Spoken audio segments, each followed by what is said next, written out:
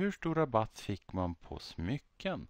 Tittar vi på förändringsfaktorn för smycken, den är 0,7 så 0,7 är i procent detsamma som 70 procent. Så tar vi det här 70 procent som då är förändringsfaktorn omgjord till procent minus 100 procent. Och då får jag minus 30 procent. Så minus 30 procent betyder en minskning med 30 procent. Så den här rabatten den var 30 procent. Svar. Rabatten på smycken var 30 procent.